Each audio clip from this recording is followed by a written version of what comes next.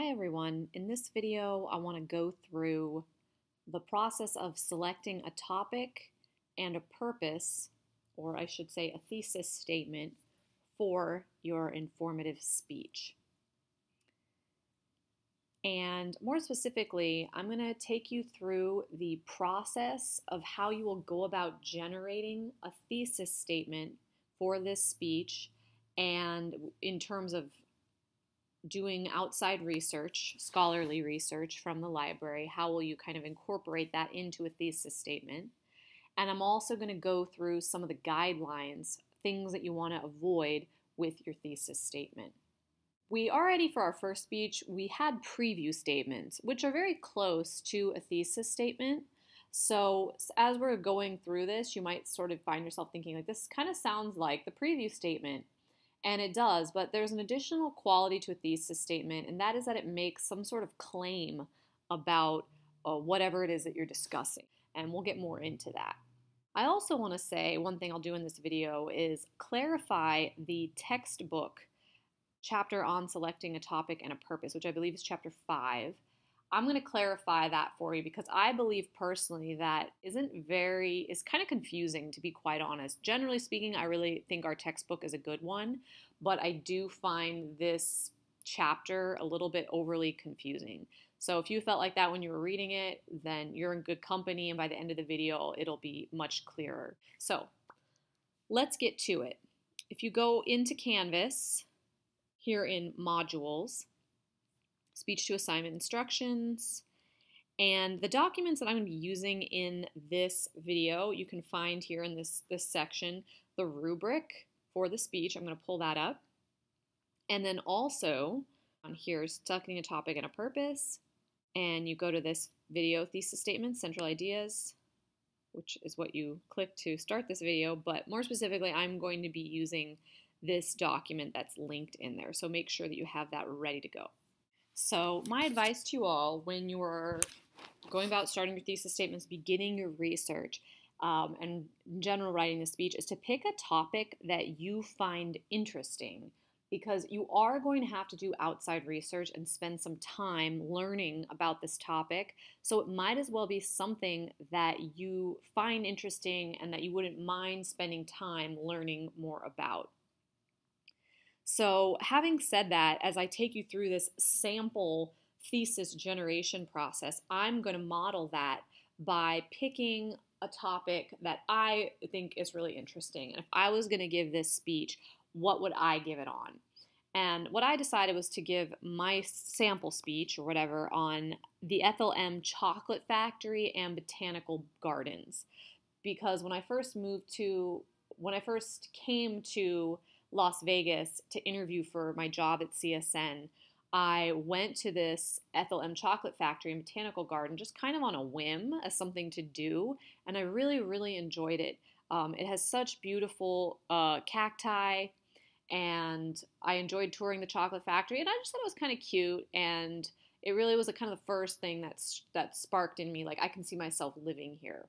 So why not? You know, I've got a good, strong, positive feeling about this place. I'd like to learn more about it. Why not give my speech about it? So that's what I encourage you to do.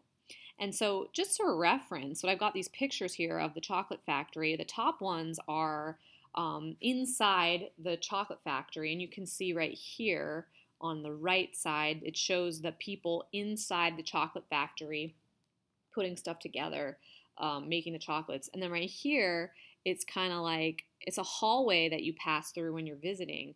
And then on the right side on the wall, there's all this kind of historical information about Ethel M. Um, chocolates and their relationship to um, Forrest Mars, or M for Mars, Mars bars, M for M&M. So this guy Forrest Mars is he's a chocolatier, and he is the name behind Mars bars and M&Ms, and now Ethel M chocolate. So Ethel is Forrest Mars's mother, and he creates this line of, of chocolates um, as an homage to his mother, and I believe that they use the homemade recipe to make them. So all, I learned all that kind of touring the factory and reading the stuff on the sides. And I thought, oh, that's that's charming. How cute, you know? It's like his mom. They're making the chocolates right here, so it felt all oh, very home homemade to me. You know, that was kind of this local homemade kind of thing, feeling for it, and I was into it. And then on this side, you can see this glass, and, and you can actually, when you're touring, you can see the workers on on the left side, and I think you can actually see one of them right there. But these are what you're looking at, these guys. And then outside the factory is this gorgeous cacti garden with tons and tons and tons of cacti. You know, it's not super big, but it's it's pretty large um, in relationship to the factory. So it's it's a nice botanical garden. It's free, and then at Christmas time they they deck it out in lights, and it's beautiful place to go with family or take pictures, whatever. So this is just some background on Ethel M Chocolate Factory.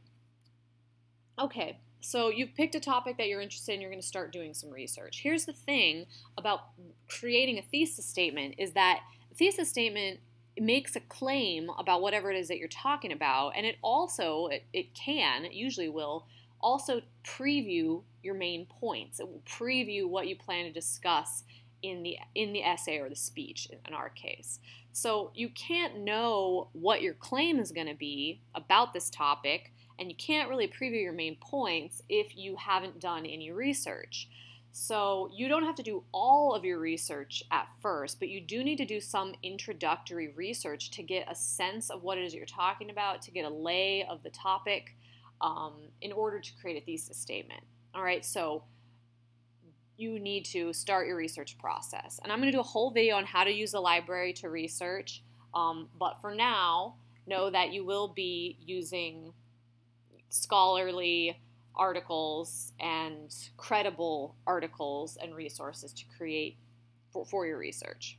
So, whatever, here I am going back to my Ethel M chocolate factory example and I you know I've seen the factory so I know a little bit about it and like I said I kind of have this idea in my head that oh maybe I'll focus my speech on how it's this like kind of local homemade homey kind of feeling situation. I, am not really sure. It's not very clear, but it's just sort of a uh, instinct that I have.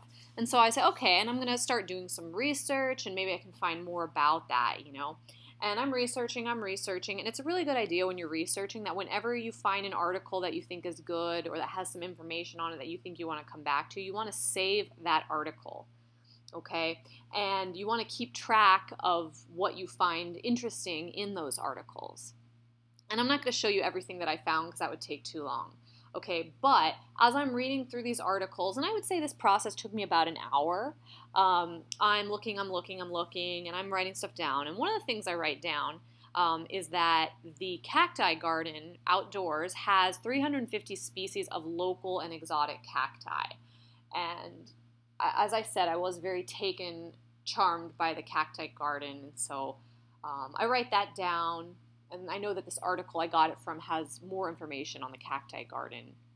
And so I'm looking at other stuff, I'm clicking around, I'm seeing kind of sk- skimming articles, and I, I find some other stuff. But another thing that I find that I had no idea when I toured the factory and the cacti garden is that the outside of it has a water waste treatment facility and it actually takes the water waste from the factory and it treats it on site um, using it doesn't use any chemicals at all but it uses natural elements like snails fish protozoa bacteria and algae and so I thought, well, that's cool. You know, they they recycle the water, they use it for the garden, and they treat it on site in sort of a sort of a natural, non-chemical way.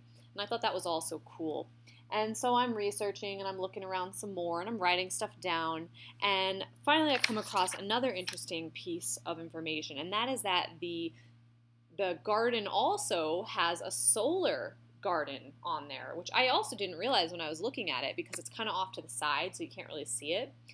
And this solar garden that's on site actually provides energy to the chocolate factory uh, during peak hours of operation.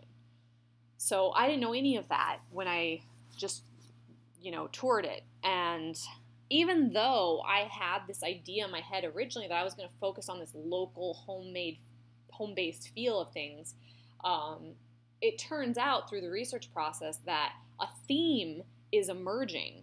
Um, and you can see from these pieces that I selected is that I didn't realize that this this place was so environmentally friendly or that it had so many environmental initiatives. So that's kind of what this claim that I'm going to make about Ethel M Chocolate Factory becomes is that it, has a lot of environmental initiatives. So from this, I am going to sort of weave this information into a thesis statement. And so this is what I come up with. And there's lots of different ways to do it, okay? But this is what I came up with in my head, okay?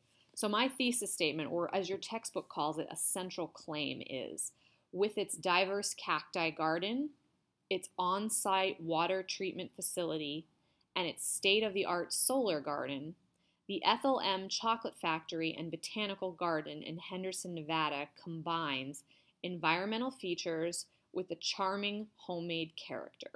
All right, so this is my thesis statement. Um, and you can tell from it that my main points, I'm going to focus on these three things. I'm going to talk for one main point about this cacti garden and all that's involved in it. And I have more info on that, right? And then the second main point, I'm going to talk about its water waste treatment facility. And it's my third main point is the state of the art solar garden. So the central claim that I'm making is that the Ethel M Chocolate Factory combines environmental initiatives or features with a charming homemade character. And then these three main points substantiate that. So that's how I created my thesis statement.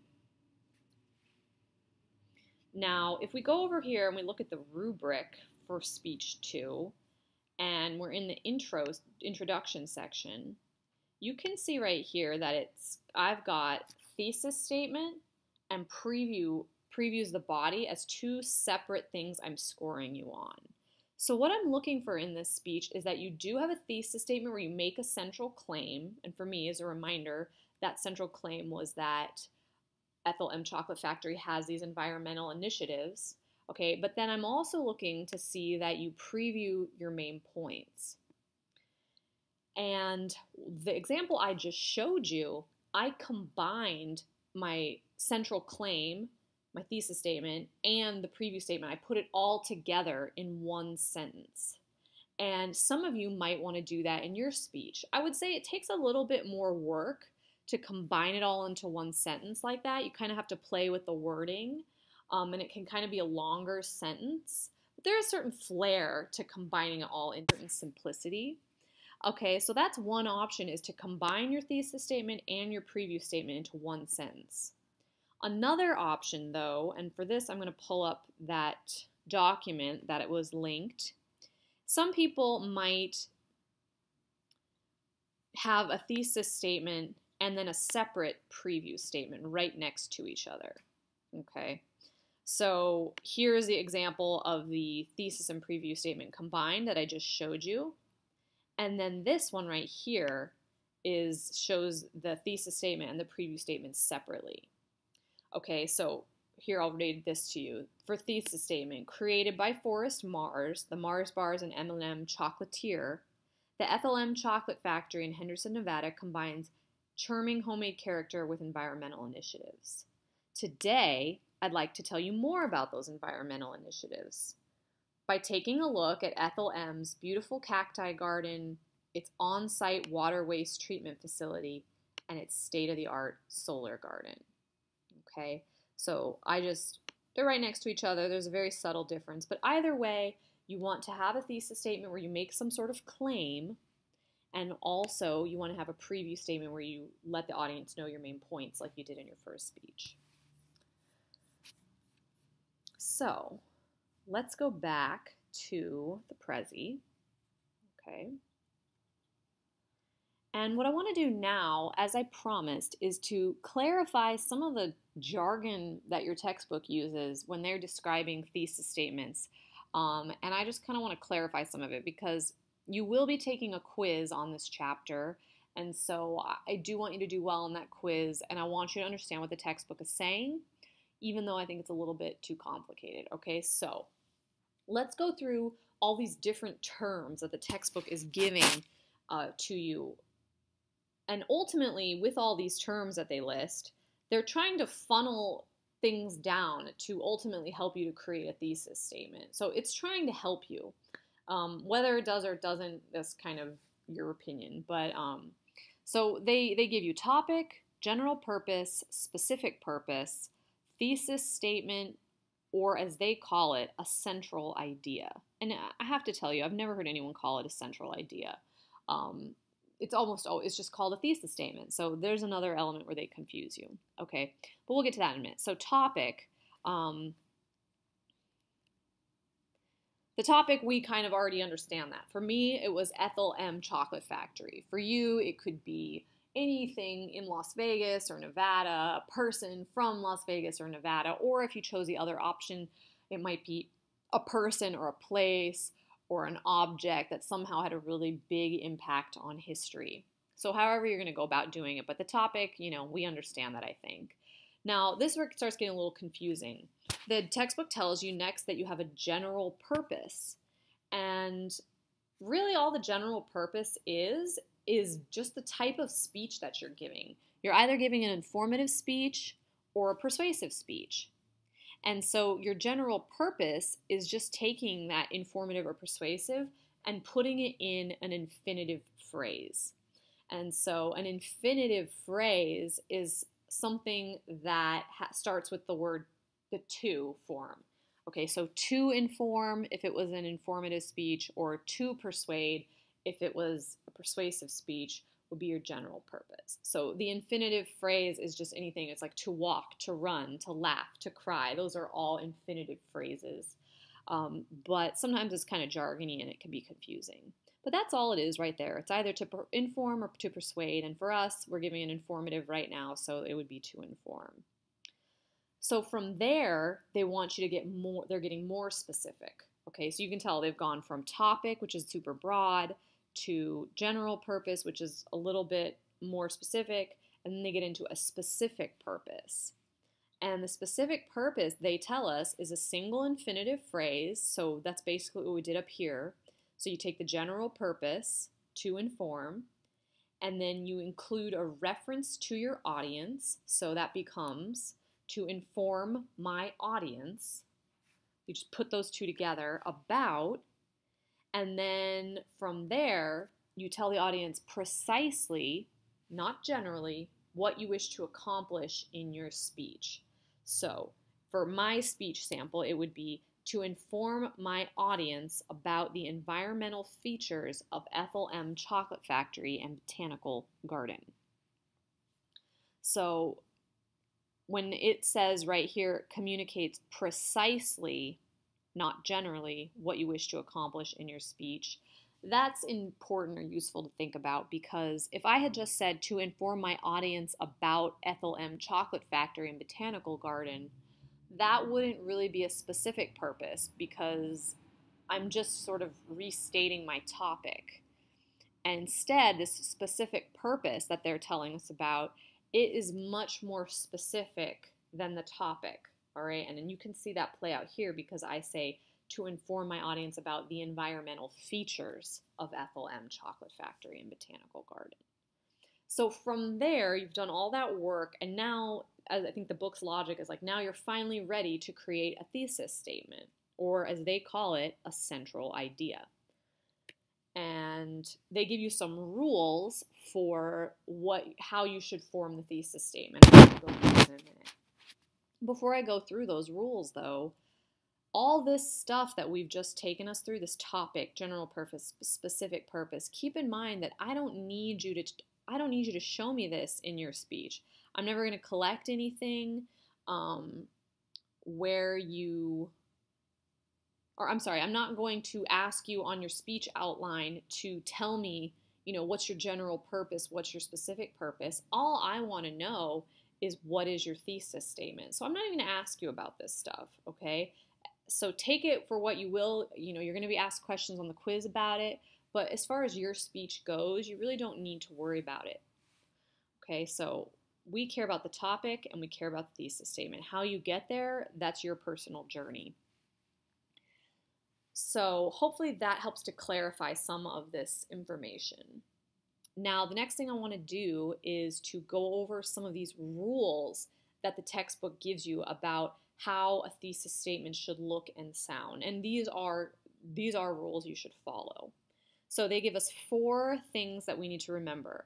A thesis statement should be a declarative statement. It should be precise, so not general. That's like a topic, not a thesis statement. It should preview your main points, and it should avoid figurative and subjective language. So let's go through some of those. Okay, so a declarative statement. A declarative statement is you telling the audience that something is so. You can tell that something's a declarative statement if you tacked on the words I declare beforehand and it still made sense and it, actually sounded like you were declaring something, then it would be a declarative statement. So I wouldn't, for example, say, I let's say I'm giving a speech on nanorobots. I wouldn't be able to say, I declare what are nanorobots, because that is not a declaration. What are nanorobots? That's a question. Remember, a declaration is something you say with certainty, you know, it is something that is true. And you're about to back up that truth in your speech with these main points and your supporting materials. So don't ask a question in your thesis statement. Remember, the audience doesn't know what nanorobots are. Uh, the, the audience is waiting for you to tell them. So just cut to the chase in the thesis statement, and instead of asking what are nanorobots, find out the answer, and then that becomes your thesis statement. Okay, so you don't want to ask questions. Instead, you want to have a declarative statement. Another thing you want to do is avoid vague or subjective language. So, vague vague statements, subjective language. I give a couple examples of that. I say, Ethel M. Chocolate Factory and Botanical Gardens is an awesome place to visit. And what's the problem with this word awesome? Well, it's vague, right? We don't, what does awesome mean? You know, um, it can mean a lot of things. It's also very subjective. Um, wh- when I say something's awesome, it might be very different from what you think is awesome. I could say instead that Ethel M. Chocolate Factory and Botanical Gardens is a popular place to visit because popular is something that we can at least substantiate with facts, right? We could look at how many visitors Ethel M. Chocolate Factory gets a year, and we could determine through those numbers that it is popular. But we can't prove one way or the other that Ethel M Chocolate Factory is an awesome place to visit because that's totally subjective, right? And in fact, I in my example I showed you earlier, I said that the cacti garden was beautiful. And to be totally true to form, I should take out the beautiful part because beautiful is another subjective opinion, right? You, nobody can prove that something is or isn't beautiful. It all depends on the eye of the beholder. So you want to avoid any kind of language that's very subjective like that and can't be proven because this is what we're trying to do in the informative speech is to be really objective. So avoid avoid subjective language.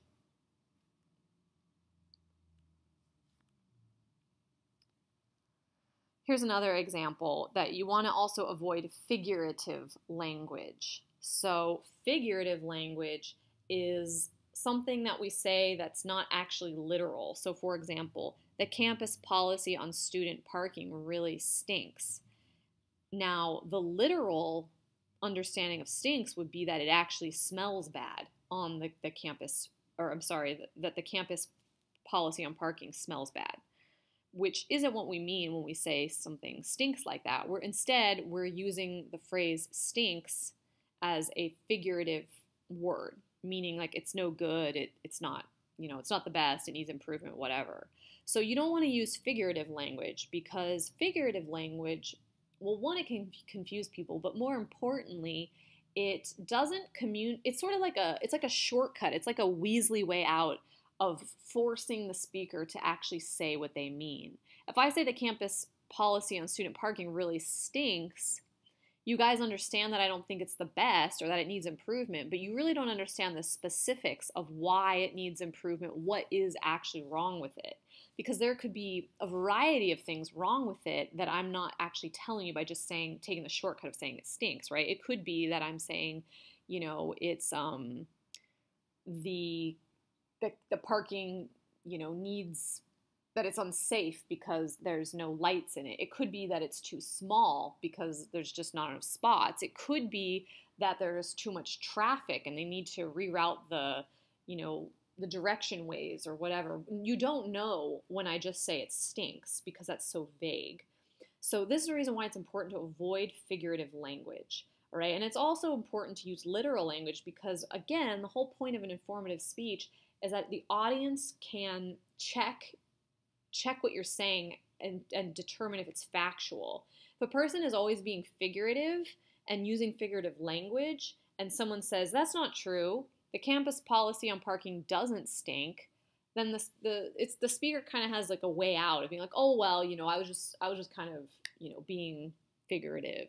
Um, whereas if the speaker is forced to say the campus po- uh, the campus parking lot is not big enough for our school, then they've committed to what they're saying, and then the speaker and the audience can have a dialogue from there. That's a lot harder to do if you just use really vague, uh, figurative, subjective language. So, here's an example of a thesis statement that's much more specific, literal, concrete language.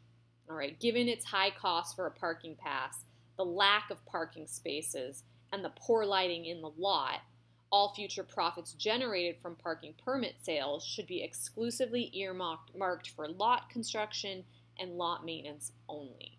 All right, so this, I'm being way more clear about what I think is wrong with the parking lot. Um, you can tell what my main points are going to be, these three things right here. And I'm actually making some kind of claim about what's wrong and what should be done. This example right here is for persuasive speech, so we won't, you know, spend too much time there.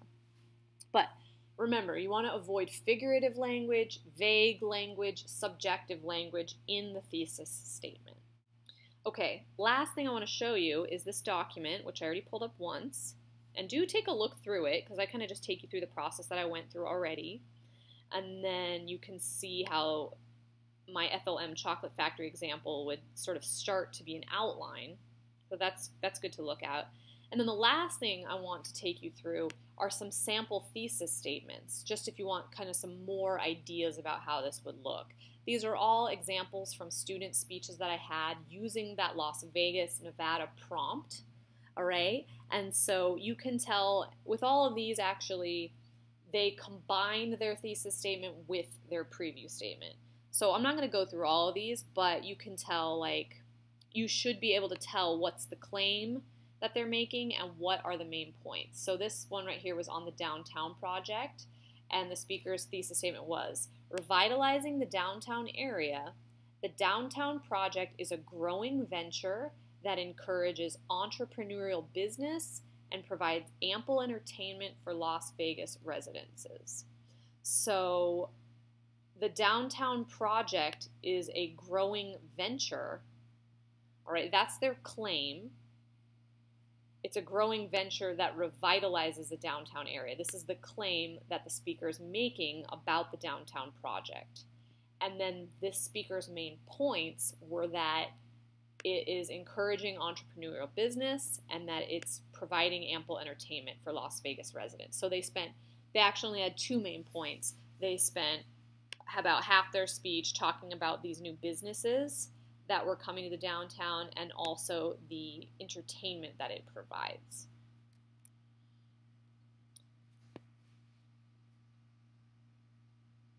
Here's another example on the Children's Discovery Museum. This speaker says the Children's Discovery Museum's dedicated staff, two distinct departments, and wide variety of activities and attractions make it a popular Las Vegas destination for both children and adults. They should say popular, not attractive. So the topic is a Children's Discovery Museum. The claim that they're making about the Children's Discovery Museum is that it's a popular Las Vegas destination for children and adults. And they substantiate that claim by taking us through the features of the Children's Discovery Museum. It's dedicated staff, that's one main point. Two distinct departments is another main point. And then its wide variety of activities and attractions is a third main point. Here's one more we'll go through. Zappos' unique set of core values, their charismatic CEO, and their funky company culture is what makes it a thriving 21st century online retailer. So, topic is Zappos. Central claim is that Zappos is a thriving 21st century online retailer. And then they substantiate that claim with their main points. They have one main point where they talk about Zappos' core values, another main point where they detail the charismatic CEO who runs Zappos, and then their third main point is that they go through and talk about the funky corporate culture that it has. And you can read through these other ones if you like, but you should be able to tell like this is the central claim, these are the main points, and be thinking about that with your own thesis statement. You should be asking yourself, what are what's my central claim? What are my main points? And that is what I'm going to ask you to do in your thesis statement submission that you're going to do through Canvas that's going to be due soon here. You'll be identifying the claim, you have the topic, the central claim, and then your main points as well. So I hope this helps to clarify the textbook jargon and more importantly that it sets you on the right path for understanding how to generate your own thesis statement through research and then just the nuts and bolts of putting it together. Okay, I'll see you in the next video. Bye bye.